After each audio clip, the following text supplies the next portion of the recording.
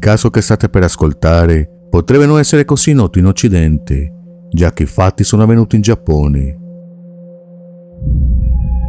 Ma la verità è che si tratta di uno dei misteri più inquietanti di quel paese per quanto riguarda le sparizioni irrisolte.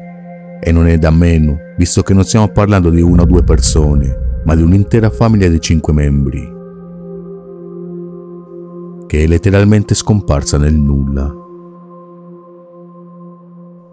Gli Yamagami erano una famiglia giapponese del tutto normale. La moglie della coppia, Yunko Yamagami, era una donna d'affari di successo. Suo marito Masahiro aveva un buon lavoro. La figlia degli Yamagami a sua volta era un insegnante di scuola elementare di 26 anni di nome Chie. Il 4 giugno 2001 gli Yamagami non avrebbero più avuto contatti con nessuno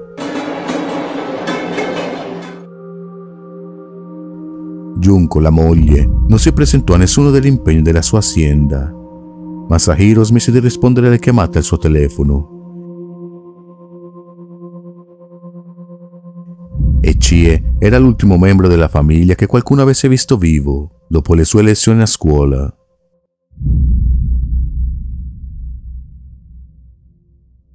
Dopo diversi giorni di totale assenza, la casa degli Yamagami venne ispezionata Dentro era tutto in perfetto ordine, come se fossero appena partiti per un viaggio.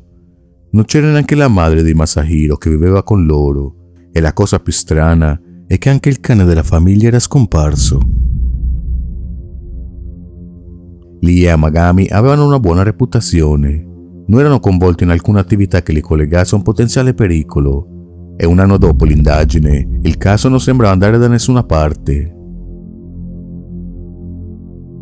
Non è stato fino al 7 settembre 2002 che si scoprì dove era finita la famiglia. L'auto di Masahiro fu ritrovata in fondo a un lago. Al suo interno giacevano ciò che restava dei quattro corpi della famiglia, insieme a quello del cane. Ed ecco il dato più sinistro. Nessuno dei corpi mostrava segni di violenza. Tutti avevano le cinture ben allacciate.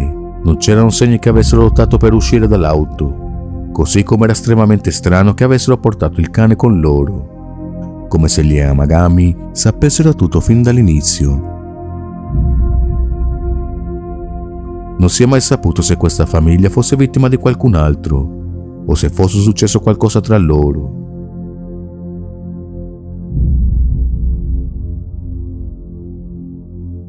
Ma nessuno ha mai saputo quale oscuro segreto nascondesse la famiglia Yamagami.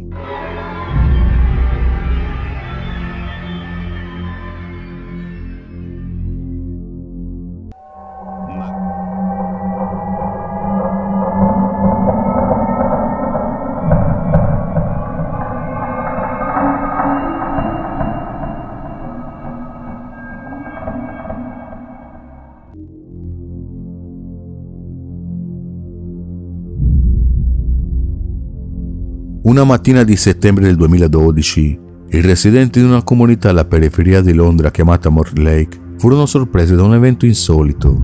Alle 7.30 del mattino, tutti si svegliarono da un forte rumore secco di qualcosa di pesante che si schiantava sul marciapiede.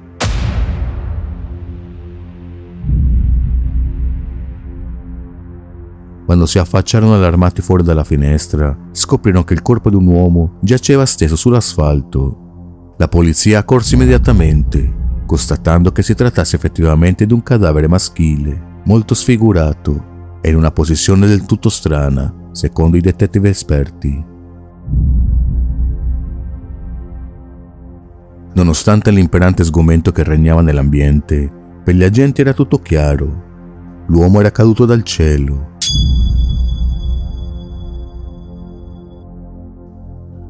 Ora la questione era sapere come questo soggetto potesse aver avuto un simile destino, dato le poche informazioni sull'uomo caduto dal cielo.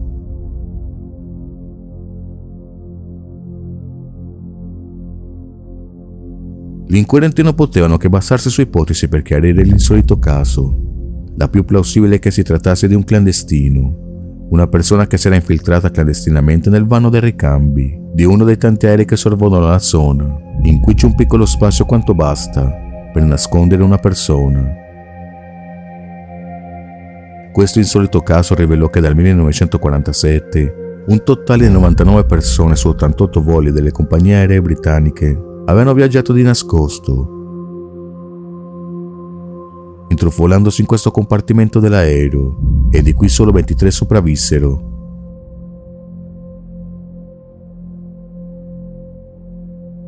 Non c'è dubbio che ci troviamo di fronte a una forma di rischio poco conosciuta, ma che in molti sono disposti a correre.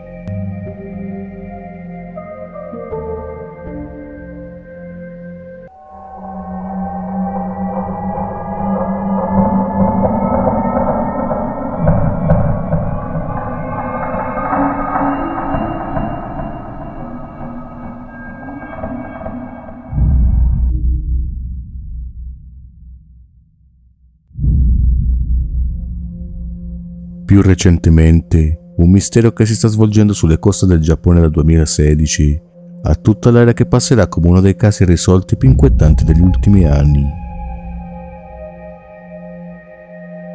Perché dall'ottobre di quell'anno le autorità costiere giapponesi iniziarono ad assistere, spaventate e sorprese allo stesso tempo, dall'arrivo di diverse navi non identificate, con tutto il loro equipaggio morto all'interno, in avanzato stato di decomposizione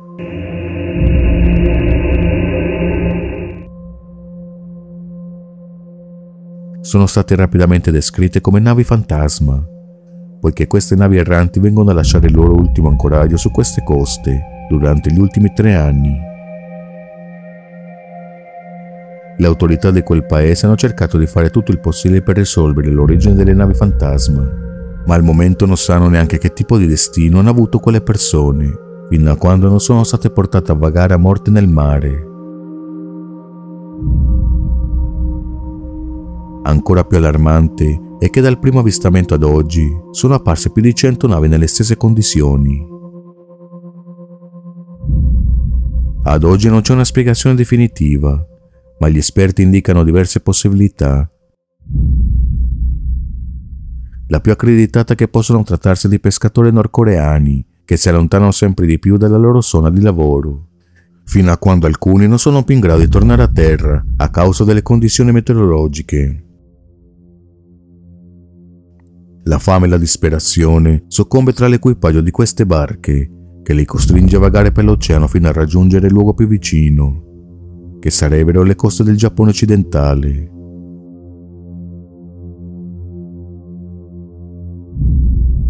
Vedremo se con il tempo questo mistero riuscirà a essere chiarito.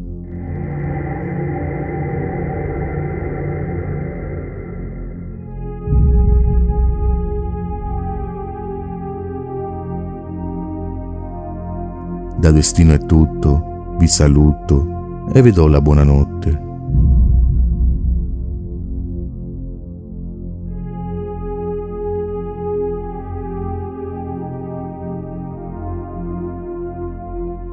Se il video ti è piaciuto, dagli un like, iscriviti o lascia un commento. Questo mi aiuterà a caricare altri video. Grazie.